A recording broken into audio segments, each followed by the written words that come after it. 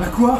T'as jamais vu quelqu'un sortir du frigo? Je te vois, toi, je te vois. Ça fait 8 mois qu'on est absent. 8 mois qu'on n'a pas fait de vidéo. On le sait, on le sait. Mais on était en hibernation. Mais on revient, on revient. On va te montrer comment faire un dessin animé. Et la semaine prochaine, on fera un nouvel épisode d'une peur de savoir. Allez, Anastasia, Elise, sortez On y va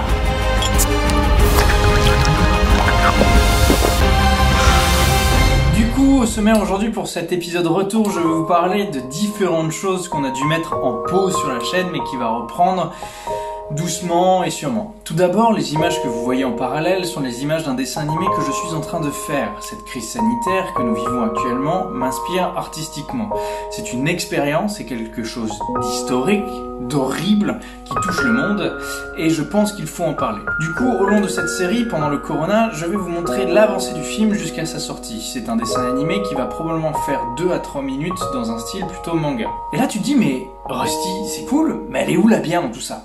Bah la bière, elle est là. Car à chaque épisode, en même temps que je vais vous montrer comment le film avance, quelles sont les étapes de, production, je vais vous parler d'une bière ou d'une brasserie que j'ai découvert depuis que je vis à Londres. Après mon arrivée au Royaume-Uni, j'ai goûté pas mal de choses assez incroyables. C'est donc l'heure de vous faire une petite présentation de certaines bières incontournables. Alors ce que vous voyez en image depuis le début, c'est la création de mon personnage principal. J'avais envie de laisser l'histoire à une jolie jeune fille qui s'ennuie dans son appartement. J'ai envie d'avoir un personnage un peu geek, fun, qui passe son temps à faire du sport, à regarder des séries Netflix, à voyager, à être fan de rétro gaming. Et son jeu préféré, bah, c'est euh, Zelda Breath of the Wild. Elle doit aussi avoir un métier normal. C'est plutôt quelqu'un qui a la tête sur les épaules. Elle ne cherche pas le prince charmant, elle est plutôt indépendante et féminine. Donc dans mon personnage, j'ai cherché aussi à lui faire une tenue un peu marrante. J'ai un chapeau en fait avec des oreilles de chat qui est un peu sympa que j'ai commandé sur un site internet que je mets jamais parce que c'est tellement ridicule de sortir avec ça que je peux pas. C'est un peu c'est un truc que j'ai à la maison et j'avais envie d'un peu la même chose et d'avoir cette veste avec ses oreilles. Euh, je trouvais ça mignon, je trouvais ça kitty.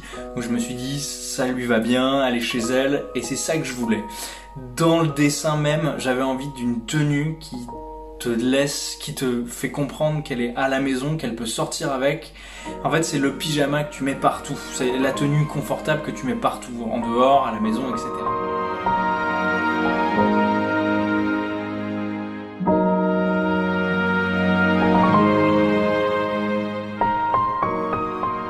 à la bière en fait. Ce que j'ai pu boire et découvrir à Londres et que je vais vous partager euh, pour cet épisode reprise. Et cette brasserie dont je vais vous parler a du génie. Elle a du génie parce que à chaque fois qu'ils brassent une bière, c'est pour repousser les limites. Je dis ça car rien qu'à voir les différents types de bières et l'originalité des brassins qu'ils ont, Unbarred Brewery est pour moi le genre de brasserie unique et original qu'on peut comparer à la brasserie La Débauche ou encore Popin. J'ai testé en fait dans un petit marché euh, pas loin de chez moi, euh, à Londres, j'ai testé la Bueno Shake. Euh, en fait, qui est assez surprenante. C'est une bière qui, qui m'a complètement renversé quand je l'ai goûtée.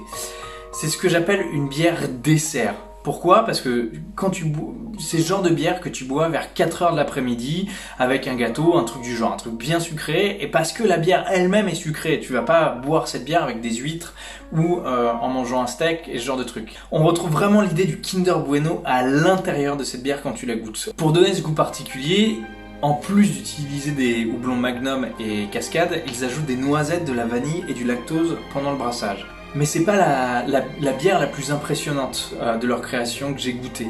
Pour moi, celle qui m'a vraiment marqué, c'est la Chai Latte. Cette bière est vraiment remarquable par son, son authenticité et le goût qu'elle a.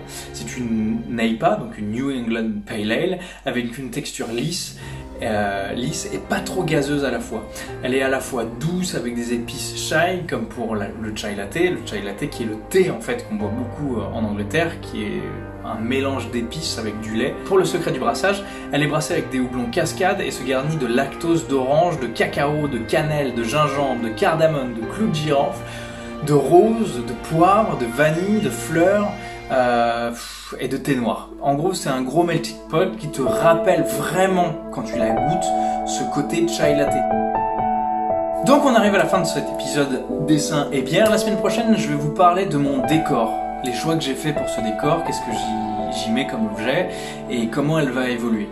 Euh, il y aura un troisième épisode ensuite qui vous montrera comment j'anime mon personnage. Je vais euh, utiliser une, une sorte de motion capture où je vais filmer un comédien et ensuite je vais redessiner par-dessus avec les proportions de mon personnage.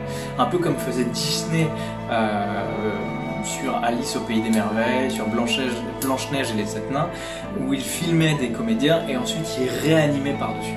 Voilà, c'est un peu la même chose. Et en même temps, ça me permet de gagner du temps et de produire beaucoup plus vite ce dessin animé qu'à l'accoutumée. On parlera aussi de la musique, des choix stylistiques, du montage euh, pendant ce film et à la, fin, à la toute fin, quand le film sortira, il ne sera pas tout de suite présenté sur YouTube, il sera destiné au festival. Donc je vais le présenter, faire, lui donner une vie à ce film.